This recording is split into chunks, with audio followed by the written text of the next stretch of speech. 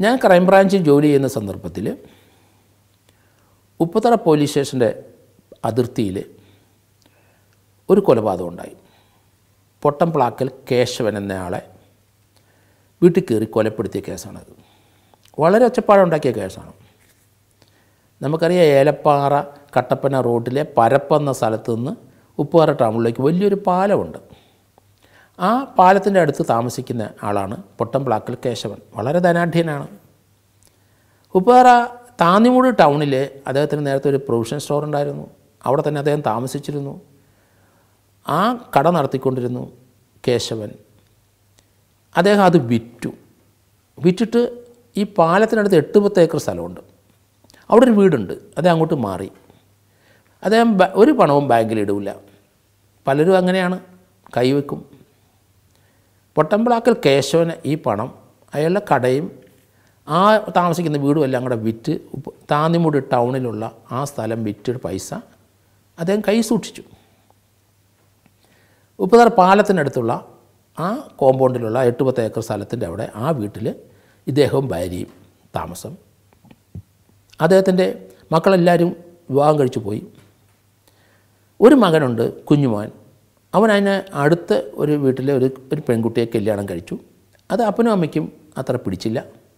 അവൻ പ്രത്യേകം മാറി താമസിക്കുന്നുണ്ട്. അവരുടെ ചേച്ചിമാരെല്ലാം കല്യാണം കഴിച്ചു പോയി. അതിൽ ഇവന്റെ ഒരു ചേച്ചി വിജയമ്മ അവർ അയ്യപ്പൻകോൽ തൊട്ടടുത്ത് ഉപ്പാറ പഞ്ചായത്തിന്റെ ഓപ്പോസിറ്റ് ആറിനക്കരെ കട്ടപ്പനയ്ക്ക് പോകുന്ന വഴിയിലുള്ള അയ്യപ്പൻകോൽ പഞ്ചായത്ത് പ്രസിഡന്റായിരുന്നവർ നല്ല ഒരു സ്ത്രീയാണ് വിജയമ്മ. അപ്പം ആ വീട്ടിൽ അവർ തറവാട് വീട് അല്ലെങ്കിൽ പിതാവ് താമസിക്കുന്ന വീടിന്റെ അടുത്താണ് അവർ താമസിക്കുന്നത്. എന്തായാലും ഒരു ദിവസം രാത്രിയിൽ ആരോ ആ വീട്ടിൽ കയറി. അതിനടുത്തൊരു തിയേറ്ററുണ്ട്. അപ്പോൾ അതിനു മുമ്പ് വിജയമ്മ എന്റെ അടുത്ത് പറഞ്ഞിരുന്നു ആ രാത്രിയിൽ ആരോ തിയേറ്റർ കഴിഞ്ഞ് സിനിമ വിട്ടൊക്കെ ശേഷമാണ്. ഒരു മണിക്കൂർ കഴിഞ്ഞിട്ട് പിൻവശത്തെ വാതിൽ ചെറിയ കല്ലുകൊണ്ട് ആരോ എറിഞ്ഞു. ചെറിയ ചെറിയ കല്ലുകൊണ്ട് മൂന്നാലും ചേറ് ചിലപ്പോൾ നമ്മൾ ക്യൂരിയോസിറ്റി ഉണ്ട് ആ വാതിൽ തുറക്കാം. അകത്ത് കള്ളന്മാർക്ക് കയറാനുള്ളൊരു മാർഗമായിരിക്കാം കേശവൻ അത് രാത്രി ആയതുകൊണ്ട് അത് അത്ര മൈൻഡ് ചെയ്തില്ല. ഒന്ന് രണ്ട് ദിവസം ഒന്ന് രണ്ട് ദിവസം ഒരു ഒന്ന് രണ്ട് മാസത്തിനിടയ്ക്ക് രണ്ട് പ്രാവശ്യം ഇതുപോലെ ചെറിയ കല്ലുകൊണ്ട് കയറി ചെറിയ മിറ്റിൽ കഷ്ണം കൊണ്ട് വാതിലെ ചെറിയ ചെറിയ ഏറ്. ഒരു മൂന്നാൽ ഏറ്. ക്യൂരിയസ് ഉണ്ട് എല്ലാവർക്കും തുറക്കാം. ഇതായാലും കേശവൻ എപ്പോഴും നല്ല പ്രിപ്പറേ പത്തെഴുപത്തഞ്ച് വയസ്സുള്ള മനുഷ്യനാണ്. എപ്പോഴും വാക്കത്തി കയ്യിലുണ്ടാവും. വെട്ടുകത്തി കയ്യിലുണ്ടാവും. വടിയുണ്ട്.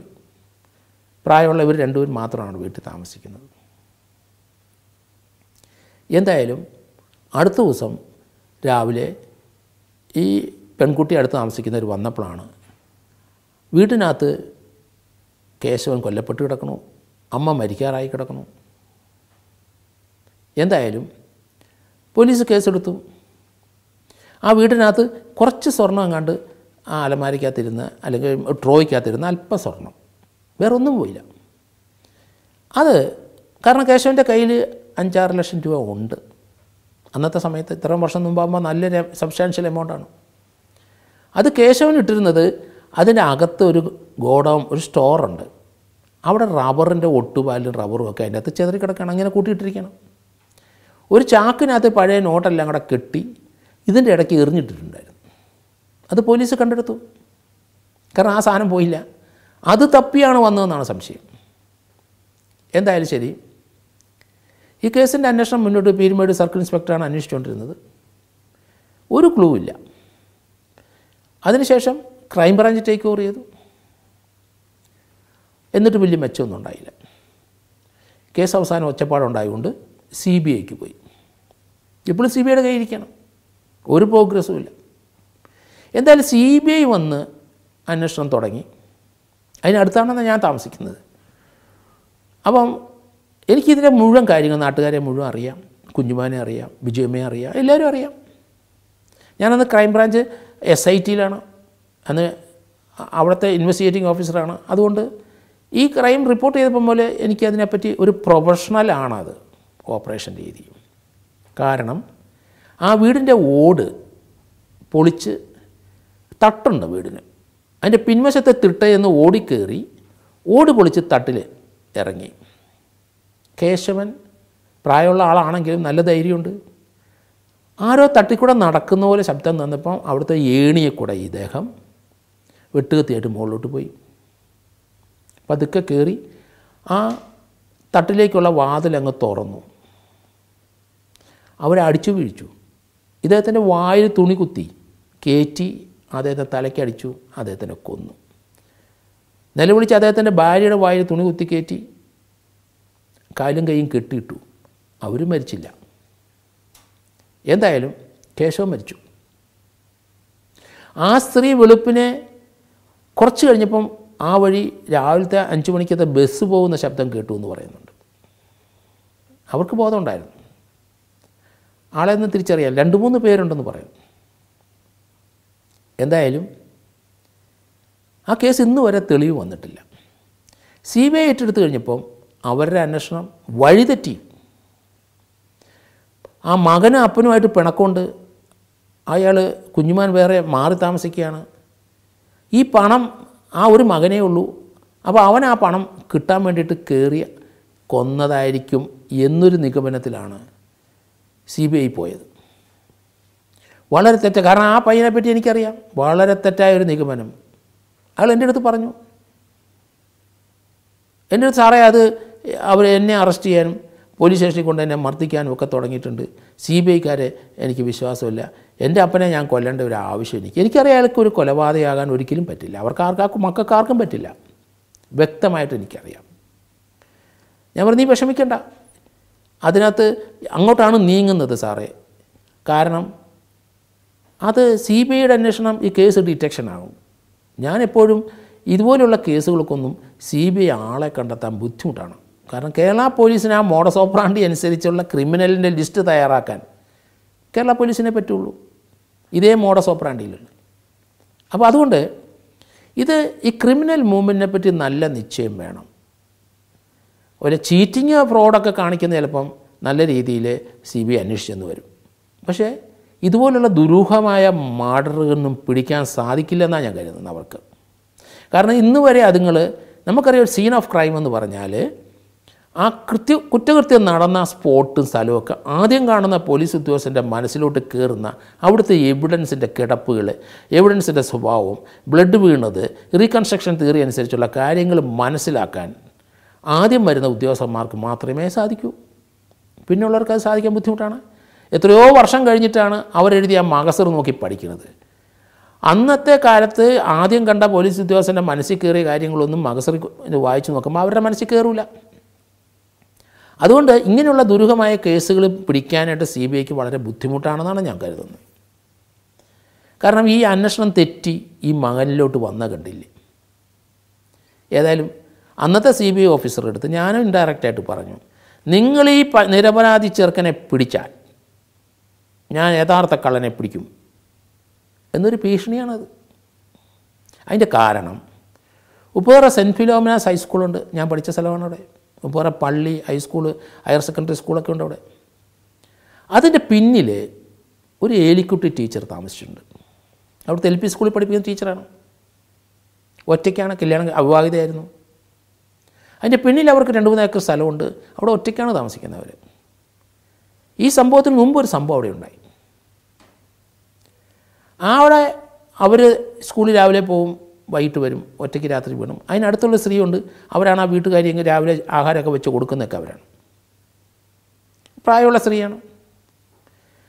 ആ വീട്ടുജോലിക്കാരി പറഞ്ഞു ഒരു രാത്രിയിൽ അവർ രാത്രിയായില്ല. എങ്കിലും ഒരു രാത്രി ഒരു രാത്രിയുടെ സംഭവം ഇവരെ ആരോ ആ വീട്ടിൽ കയറി വായിക്കകത്ത് തുണി കുത്തിത്തിരികി കൈയും കാലും കെട്ടി അവരുടെ കഴുത്തിൽ കിടന്ന കുറച്ച് ആഭരണം ഉണ്ടായിരുന്നു അതെടുത്തു. അവർ ആ മാസത്തെ ശമ്പളം എല്ലാം വീട്ടിൽ നിന്ന് എടുത്തുകൊണ്ട് പോയി. മരിച്ചില്ല. ഇവർ രാവിലെ ഒരു പത്ത് മണിയൊക്കെ ആയി കഴിഞ്ഞപ്പോഴാണ് കെട്ട കഴിച്ച് വായിലെ തുണി അവർ കയ്യും കാലും കെട്ടിയിട്ടിരിക്കുന്ന അതിൽ നിന്ന് ഊരിക്കൊണ്ട് പോകാൻ പറ്റിയില്ല. എങ്കിലും മരിച്ചില്ല ആൾ പത്ത് പതിനൊന്ന് മണിയായപ്പോൾ ഇവർ സ്വയം എങ്ങനെയൊക്കെയോ ചവിട്ടി പിടിച്ചൊക്കെ രക്ഷപ്പെട്ടു. വെളിയിലിറങ്ങിയ ആൾക്കാരോട് പറഞ്ഞു. അവിടെ നിൽക്കുന്ന ജോലിക്കാർ ഒരു കാര്യം പറഞ്ഞു. ഞാൻ ആ സ്ത്രീയെ കണ്ടു. എലിക്കുട്ടി ടീച്ചറിന്റെ കഥ എന്റെ അടുത്ത് സംസാരിച്ചു. അന്നേരം ഒരു പത്ത് മണിയായപ്പോൾ ഒരു ദിവസം ടീച്ചർ അങ്ങ് സ്കൂളിൽ പോയി. ഇവർ ആ വീട്ടുജോലിയൊക്കെ ചെയ്തുകൊണ്ടിരിക്കുമ്പം ഒരു മൂന്നാൽ പേര് ഇവരുടെ പിന്നിൽ വീടിന്റെ പിന്നിൽ മൂന്നാൽ ഏക്കർ സ്ഥലമുള്ള ഒരു സ്ത്രീ ടീച്ചറാണ്.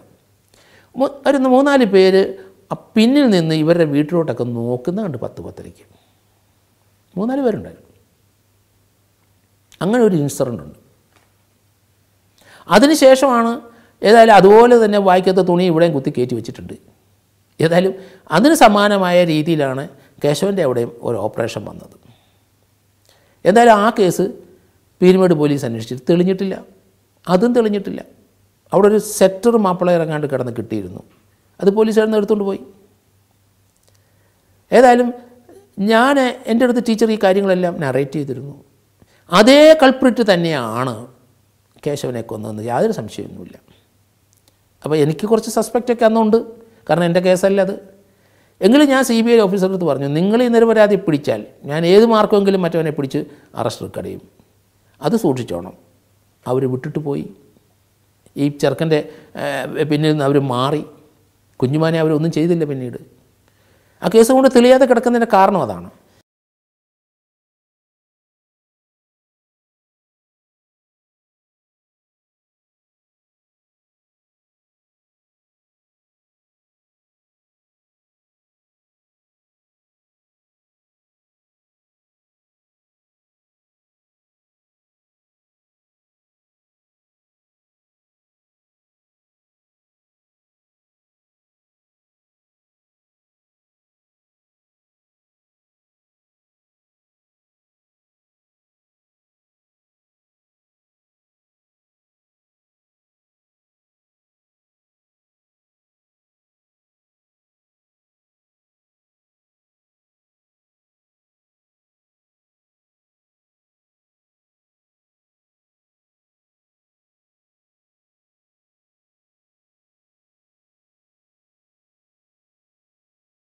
കേരളത്തിന്റെ അങ്ങേയറ്റം കാസർഗോഡ് ജില്ലയിൽ ഭീമനടിക്കടുത്ത് ഞാൻ ഒരു കേസ് അന്വേഷിച്ചിട്ടുണ്ട്. തമ്പാർ നായർ വധം. വളരെ ഒച്ചപ്പാടുണ്ടാക്കിയ ഒരു കേസാണത്. കാരണം തമ്പാൻ നായർ എന്ന് പറയുന്ന ആൾ അവിടെ സ്ഥിരമായി വെടിക്ക് പോകുന്ന ഒരാളാണ് മുയൽ അങ്ങനെയുള്ള ചെറിയ ചെറിയ ജീവികളുള്ളെങ്കിലും എല്ലാ ദിവസവും വെടിക്ക് പോകും തമ്പാൻ നായർ. നല്ല ടോളായ ആരോഗ്യമുള്ള ഒരു ആറടി പൊക്കമുള്ള ഒരാളാണ് തമ്പാൻ നായർ. തമ്പാൻ നായരുടെ വീടിനടുത്ത് ഒരാൾക്കൊരു തോക്കുണ്ട്. അയാളുടെ തോക്കാണ് നാടൻ തോക്കാണ്. അയാളുടെ തോക്ക് അയാൾ വെടിക്ക് അത്ര പ്രാന്തനല്ല എങ്കിലും അയാൾക്ക് തോക്കുണ്ട്. അയാളെയും കൂട്ടിയിട്ടാണ് തമ്പാൻ നായർ സ്ഥിരമായിട്ട് വെടിക്ക് പോകുന്നത്. മിക്കവാറും ദിവസം പോവും. പക്ഷേ ചില ദിവസം ഒന്നും കിട്ടില്ല അപ്പോൾ എല്ലാവരും അവിടെ പോയി കാലിച്ചാനടുക്കത്തിനടുത്ത് അവിടെ ഒരു ചായക്കടയുണ്ട്. അവിടെ പോയി ഇരിക്കും രാത്രിയിൽ കടയടച്ച് കാരണം ആ ചായക്കടക്കാരനും ഭാര്യ അവിടെ തന്നെയാണ് കിടക്കുന്നത്. അവിടെ പോവും. അവിടെ നിന്നാണ് പത്ത് മണിയാകുമ്പം വെടിക്ക് പോകുന്നത്. മിക്കവാറും ഒന്നും കിട്ടില്ല എന്നാണ് നാട്ടുകാർ പറഞ്ഞത് എന്നാലും അവിടുന്ന് പാല അല്ലെങ്കിൽ കോട്ടയത്തുള്ള ഒത്തിരി സെറ്റിലേഴ്സ് ഉണ്ട് അവിടെ. യു എം അടി കാലിച്ചാനെടുക്കുക അവിടെയൊക്കെ ഇവിടുന്ന് ധാരാളം പേര് മൈഗ്രേറ്റ് ചെയ്ത സ്ഥലങ്ങളാണ്. കാഞ്ഞ കാഞ്ഞങ്ങാട് മൂലം അങ്ങോട്ട് മിക്കവാറുമുള്ള ഇവിടുത്തെ കർഷകരാണ്. പാലാ ഭാഗത്ത് ഏറ്റുമാനൂർ ഭാഗത്ത് വൈക്കം ഭാഗത്തൊക്കെയുള്ള ഈ കോട്ടയം ജില്ലയിലെ കർഷകരാണ് കൂടുതലും അവിടെ. അവിടെ ഞാൻ ഈ കേസ് തെളിയാതെ വന്നു. കാരണം ഈ വെടിക്ക് പോയ സന്ദർഭത്തിൽ അവിടെ പാലക്കാരൻ ഒരാൾ പറയുന്നത് കേട്ടു ഒരു വെടിശബ്ദ രാത്രി അതിൽ വലിയ ഈ ഇറച്ചിക്കൊതിയനാണ് പാലക്കാരനാണ്. മുയലിറച്ചി കാട്ടിറച്ചിയൊക്കെ കോഴി ഇറച്ചിയൊക്കെ അയാൾക്ക് വേണം. പക്ഷെ നല്ല പ്രായമുള്ള മനുഷ്യൻ എപ്പോഴും വലിയ രാത്രി വലിയ ഉറക്കമൊന്നുമില്ല. അപ്പോൾ അന്ന് ഒരു ദിവസം രാത്രിയിൽ അങ്ങനെ ഒരു ഒരു ഒരു വെടിശബ്ദം കേട്ടു. ആരോ വെടി വെച്ചുള്ളൂ ഇയാൾ നല്ല വേട്ടക്കാരനാണ് അയാളും. ഇപ്പം നല്ല പ്രായമായി. ഈ പാല ഈ വെടിശബ്ദം കേട്ട് കഴിഞ്ഞിട്ട് പിന്നെ ഒരു ശബ്ദവും കേട്ടില്ല. പിന്നെ ഒരു കാരണം ആ കേട്ട ശബ്ദ ഭാഗത്തേക്ക് മാത്രം പാലക്കാരന്റെ ശ്രദ്ധ പോയി എന്ന് പല ആ കേസ് ഡയറിക്കകത്ത് പറയുന്നുണ്ട്. എന്തായാലും ഈ വെടിക്ക് പോകുന്ന തമ്പാൻ നായരുടെ മൃതദേഹം അതാണ് അതിന്റെ കൗതുകം. അയാൾ വീടിനടുത്തുള്ള കൂവാറ്റിപ്പുഴയിൽ കാണപ്പെട്ടു. അപ്പം കാണപ്പെട്ടത് വെടിക്ക് പോയ രാത്രിയുടെ പിറ്റേ ദിവസമല്ല. അതിന്റെ പിറ്റേ ദിവസമാണ് കാണുന്നത്. അത് ഡെഡ് ബോഡി ആ കൂവാറ്റിപ്പുഴയിൽ പൊങ്ങിയ കിടന്നത്. ഒരാൾ വെള്ളത്തിൽ വീണ് മരിച്ചാൽ മുങ്ങിപ്പോവും. പത്ത് പന്ത്രണ്ട് പതിനെട്ട് മണിക്കൂർ കഴിഞ്ഞ് പതുക്കെ പതുക്കെ മരിച്ചു കഴിഞ്ഞാൽ പതുക്കെ പതുക്കെ ഡെഡ് ബോഡി പൊങ്ങി വരികയുള്ളൂ ഡീകമ്പോസേഷൻ സ്റ്റാർട്ട് ചെയ്ത് എന്നാൽ വളരെ സ്ലോയിലാണ് വെള്ളത്തിനടുത്ത് എങ്കിലും എയർ ഒക്കെ വയറ്റിനുള്ളിലൊക്കെ ഫോം ചെയ്ത് പതുക്കെ പതുക്കെയാണ് ഡെഡ് ബോഡി പൊങ്ങി വരുന്നത്. പക്ഷേ ഇയാളുടെ ഡെഡ് ബോഡി പൊങ്ങി തന്നെ കിടന്നു വെള്ളത്തിൽ പോലീസ് വന്ന് കരക്കടിപ്പിച്ചു പോസ്റ്റ്മോർട്ടമൊക്കെ നടത്തി. നെഞ്ചിന്റെ ഭാഗത്ത് ക്ലോസ് റേഞ്ച് വെടിവെച്ചിരിക്കുകയാണ്. വെടിയേറ്റാന്ന് പറഞ്ഞപ്പം പിന്നെ പോലീസ് കുവാറ്റി പുഴയിലൊക്കെ തപ്പി. ഒരു തോക്ക് പുഴയിൽ നിന്ന് കിട്ടി. ആ കുവാറ്റിപ്പുഴയിലെ ഒരു പാലമുണ്ട് പാലത്തിന്റെ താഴെ പാലത്തിൽ നിന്ന് വന്ന് എറിഞ്ഞിരിക്കുകയാണ്. താഴോട്ട് തന്നെയാണ് എറിഞ്ഞിരിക്കുന്ന തോക്കും. അതിനടുത്ത് തന്നെ ഡെഡ് ബോഡിയും കിടന്നു പൊങ്ങിക്കിടന്നു. ആൾക്കാർ കാണുമ്പോഴേ പൊങ്ങിക്കിടക്കുകയാണ്. അപ്പോൾ അത് പോലീസ് ആ കേസ് അന്വേഷിച്ചു. സ്ഥിരമായിട്ട് വെടിക്ക് പോകുന്നതാണ് തമ്പാ നായർ അയാൾ കൂട്ടുകാരനുണ്ട്. ആ ഒരു ദിവസം ആ കൂട്ടുകാരൻ പോയില്ല എന്നുള്ളതാണ് വസ്തുത. തമ്പാ നായർ തനിച്ചു പോയി ഞാൻ ആ കേസ് അന്വേഷിക്കും തെളിയാതെ വന്ന കേസ് ഞാൻ അന്വേഷിക്കുമ്പോൾ അന്നത്തെ ദിവസം അയാൾ പോയില്ല. അയാളുടെ ഭാര്യയും പറയുന്നത് അയാൾ പോയില്ല. തമ്പാനായർ തന്നെ തോക്കും ഇവിടെ നിന്ന് വാങ്ങിച്ചുകൊണ്ട് പോയി. എന്തായാലും ശരി ഒരു വെടിശബ്ദം കേട്ടു എന്ന് പാലക്കാരൻ പറയുന്നുണ്ട്. അത് തമ്പാനായർ പോയി ഏതെങ്കിലും മൃഗ മൃഗങ്ങളെയോ അല്ലെങ്കിൽ മൊബൈലിനെ വെടിവെച്ചതാണോ? തമ്പാനാരുടെ നെഞ്ചിൽ വെടിവെച്ചതാണോ? തന്നെ ഒരു വെടിവെച്ചതല്ല സൂയിസൈഡല്ല അത്. ആരോ വെടിവെച്ച് കൊന്നു. എന്തായാലും വളരെ വർഷങ്ങൾക്ക് ശേഷമാണ് ആ കേസ് അന്വേഷിക്കാൻ പോയത്. ഞാൻ ആ ഏരിയ മുഴുവൻ എല്ലാം സെറ്റിലേഴ്സാണ് ഭൂരിപക്ഷം ആൾക്കാർ ഭീമനടി കൂവാറ്റിപ്പുഴയുടെ പരിസരം കാലിച്ചാനടക്കം അങ്ങനെ ഒത്തിരി സ്ഥലങ്ങളുണ്ട് എല്ലാ സ്ഥലങ്ങളിലൊക്കെ വളരെ അത്ര ഒരു ഫ്രട്ടൈലായ ഒരു ഏരിയ ആയിട്ട് എനിക്കത് തോന്നിയിട്ടില്ല. എങ്കിലും ചെറിയ ചെറിയ അവിടെ ഇവിടെയൊക്കെ ചെറിയ ചെറിയ ഗ്രാമങ്ങളും ചെറിയ ചെറിയ കടകളൊക്കെ ഉള്ളായിരുന്നു അന്ന്. പക്ഷേ എനിക്ക് ഈ കേസ് ടേക്ക് ഓവർ ചെയ്തപ്പം എന്തുകൊണ്ടാണ് തമ്പാനായരെ കൊന്നിട്ട് ആ പാലത്തിൽ നിന്നെടുത്ത് താഴോട്ടിട്ട ഡെഡ് ബോഡി പൊങ്ങിക്കിടന്നു. അപ്പോൾ അങ്ങനെ ഒരു ഡെഡ് ബോഡി അവിടെ കൊണ്ട് ഇട്ടാലേ കൊ മരിച്ചു കഴിഞ്ഞിട്ടാലും തന്നു. അപ്പോൾ ഒരു ദിവസം ഡെഡ് ബോഡി എവിടെ വെച്ചതുപോലെ തോന്നി. വെച്ച സ്ഥലമാണ് കണ്ടുപിടിക്കേണ്ടത്. അങ്ങോട്ട് പോലീസ് ഇതുവരെ വന്നില്ല. നേരത്തെ അന്വേഷിച്ച ലോക്കൽ പോലീസും ക്രൈം ബ്രാഞ്ചും ഒക്കെ ആ ഇതിലോട്ട് വന്നിട്ടേ ഇല്ല. അപ്പോൾ ആ വെച്ച വെടിക്ക് തീർച്ചയായിട്ടും നാടൻ തോക്കാണ്. നെഞ്ചിലേറ്റ വെടി അത് സ്റ്റെർണം റിബ്സ് വഴി പൊത്ത് മറുവശത്ത് പോയിട്ടുണ്ടാവും. മറുവശത്ത് വന്നിട്ടുണ്ട്. അതിന്റെ നാടൻ തോക്കായിട്ട് പെല്ലറ്റുകൾ ധാരാളം കാണും. എവിടെ വെച്ചാണ് തറയിൽ കിടന്ന സമയത്ത് നെഞ്ചിൽ ചവിട്ടി വെച്ചിട്ടായിരിക്കണം പിടി വെച്ചിരിക്കുന്നതാണ് ഞാൻ കണക്കാക്കുന്നത്. അപ്പോൾ ആ സ്ഥലം കണ്ടുപിടിച്ചെങ്കിലേ നമുക്ക് പറ്റുള്ളൂ. അതിന് ഞാൻ അന്വേഷണം ആ രീതിയിലോട്ട് മുന്നോട്ട് പോയിക്കൊണ്ടിരിക്കുകയായിരുന്നു. കാരണം നെഞ്ചിലിറക്കിയ നെഞ്ചിലേറ്റ വെടി ക്ലോസ് റേഞ്ചിൽ അല്ലെങ്കിൽ ബാരൽ നെഞ്ചിനോട് ചേർത്ത് വെച്ചിട്ട് വെടി വെച്ചാൽ. അത് തുളച്ച് മറുവശത്ത് പുറം വഴി വെളിയിൽ പോയി കഴിഞ്ഞാൽ അതിന്റെ പെല്ലറ്റ് ആ വെടി വെച്ച സ്ഥലത്ത് തറയിലുണ്ടാവും. അപ്പോൾ പ്ലേസ് ഓഫ് ഒക്കറൻസ് അവിടെ തന്നെയാണ്. അതാണ് കണ്ടെത്തേണ്ടത്. അതിലേക്കുള്ളതാണ് എന്റെ ശ്രദ്ധ പോയത്. അങ്ങനെയാണെന്നുണ്ടെങ്കിൽ ആ സ്ഥലത്തുനിന്ന് നിന്ന് പാലത്തിൽ നിന്ന് താഴെ ഇടണമെങ്കിൽ ഒരു ട്രാൻസ്പോർട്ട് വാഹനം വേണം. കൊണ്ടയിടണം അപ്പോൾ അന്വേഷണത്തിന്റെ നിലവാരം നമ്മൾ ഉദ്ദേശിക്കുന്ന രീതിയിലല്ല. ആ മർഡർ കഴിഞ്ഞ ശേഷം ഡെഡ് ബോഡി എവിടെയെങ്കിലും ഒതുക്കി വെക്കണം. ഒരു ദിവസം അവിടെ കിടക്കണം. വെടിവെച്ച ദിവസം ആ പകലും അവിടെ കിടക്കണം.